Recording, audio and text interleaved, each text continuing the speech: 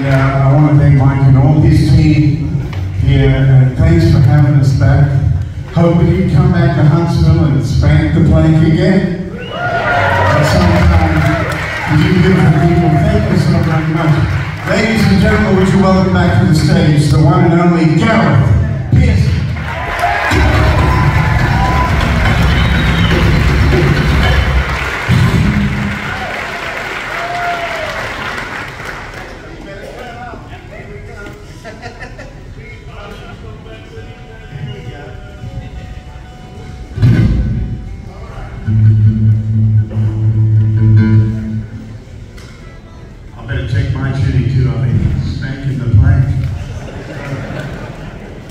and I are going to recreate a song for you from the album that my hero Chet Atkins and I recorded back in, uh, well, back when I had hair and teeth. It was a long while ago now. It was 95 when we recorded that album.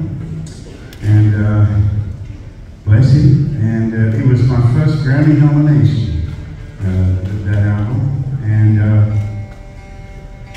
what a great experience it was, believe me. Sometimes